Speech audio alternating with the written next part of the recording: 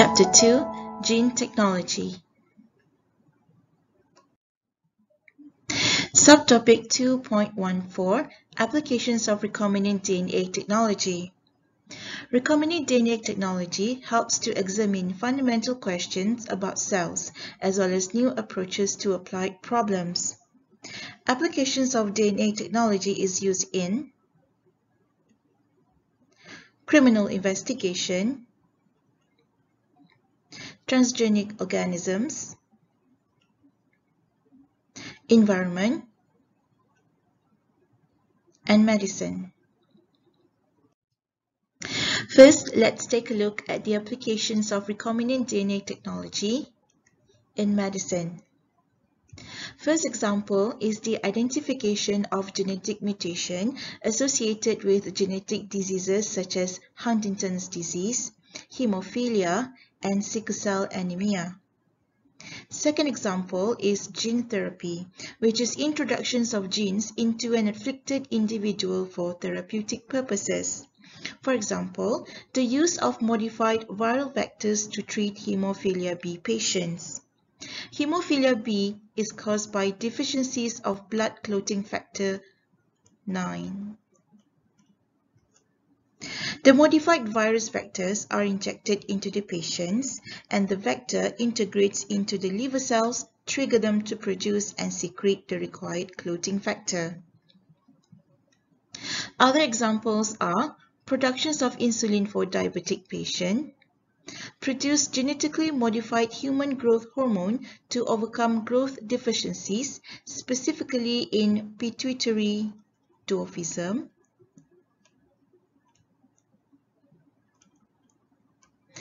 and to produce safe and effective vaccines against influenza A, hepatitis B, and polio.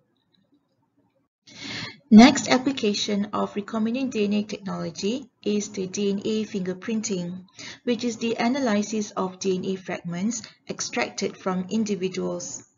Some of applications of DNA fingerprinting are analyzing evidence found at crime scenes, identifying mass disaster victims, for example, during the 9-11 attack, almost 3,000 victims were identified using DNA fingerprinting by comparing DNA obtained from their personal items and samples of the victims' remains. Next application is in studying endangered species, clarifying disputed parentage, and the last one, identifying human cancer cell lines.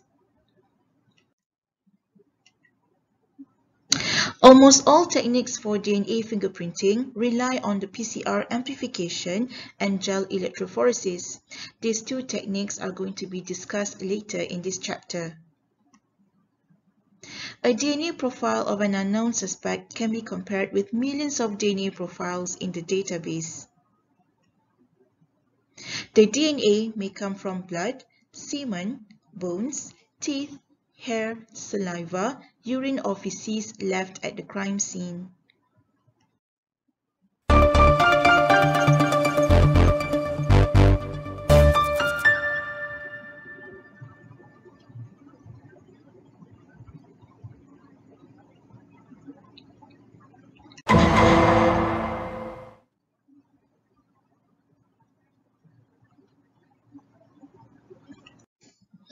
Did you read the news about the robbery just now? Can you pick the suspect whose DNA profiles matches blood from the crime scene? To analyze the DNA profiles, we need to compare and find matching DNA patterns of the blood found at the crime scene with the DNA patterns of the three suspects. Here you can see that suspect 2 has the matching DNA patterns with the blood found at the crime scene. Hence, this proves that suspect 2 was present at the crime scene. This technique used molecular markers called short tandem repeat or STR which is highly polymorphic in the population. The odds that two people would have identical DNA profile is as low as 1 in several billions. Next applications of recombinant DNA technology is the transgenic organisms. These are the plants and animals in which foreign genes have been incorporated. The first example is transgenic mouse that carries genes for rat growth hormone. Example 2 is the sheep that secrete foreign proteins in their milk. The protein is used to prevent blood clots during surgery for patients who are at high risk in developing blood clots due to rare hereditary disease. This is known as pharming, which is the combination of pharmaceuticals and farming.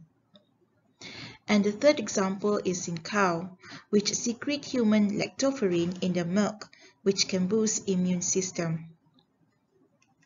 Next is the transgenic plants. The first example is maize or corn, which are resistant to drought. Next example is papaya, which are resistant to virus that causes ring spot. And the last example is transgenic soybean, which are resistant to glyphosate herbicides. Next application of recombinant DNA technology is in environment. First example is the use of transgenic microorganisms like Pseudomonas bacteria to break down hydrocarbons in oil and clean up oil spillage by aerobic respiration. Next example is the use of transgenic microorganisms like yeast that can extract heavy metal in environments such as copper and incorporate it into compound such as copper sulfate or lead sulfate. This technology is called the bioremediation. It's a branch of biotechnology that uses biological organisms to clean polluted areas.